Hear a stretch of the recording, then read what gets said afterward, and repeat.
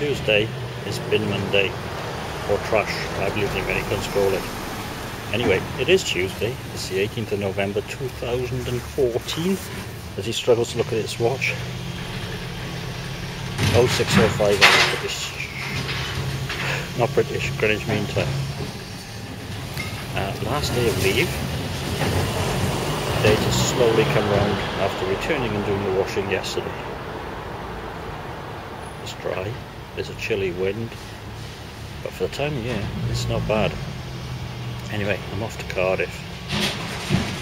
The Leo Laporte's net neutrality debate. The totaldrama.org. That'll be interesting. Anyway, had a great time. I'm looking forward to Birmingham in December. Gas Dales at 189.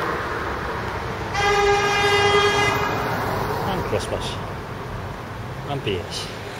It's gotta be a Willows. Banter at the bar. Flags and carpet. This is number one. Russet by Archers, 4.2% alcohol by volume. Big head, which has subsided a bit now.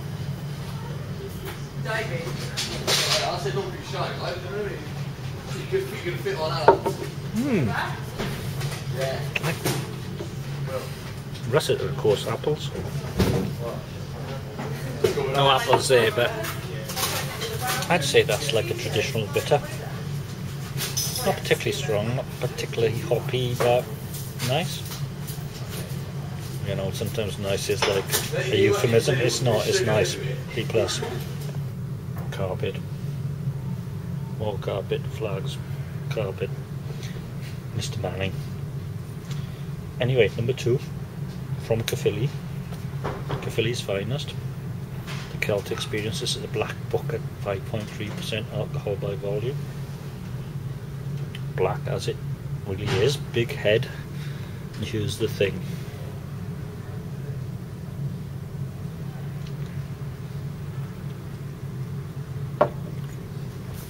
Hoppy, bitter.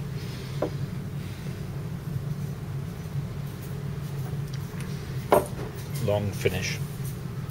I'm saying A minus. I think that's excellent.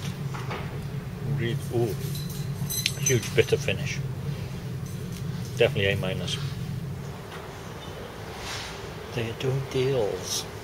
Mm, I work for someone close by. Yeah, I could get a deal. Worth a try.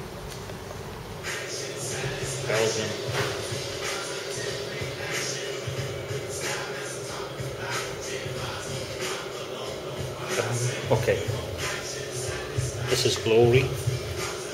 Yep, Glory from the Yeovil Brewery. 3.8% alcohol by volume. Looks like a bitter. Bit blustery outside.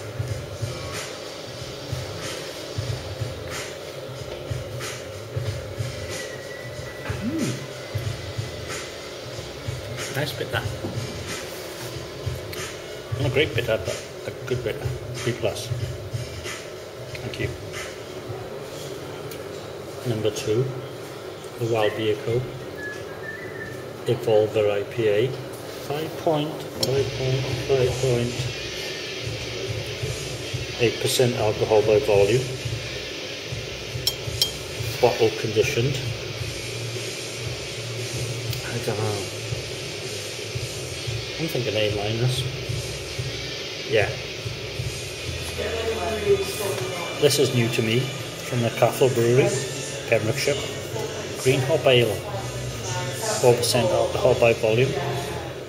Brown hops and a fresh taste of smooth caramel flavourings. Here we go. And bottle conditioned.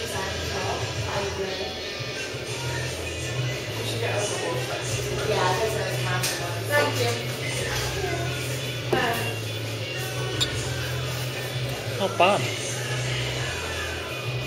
B plus.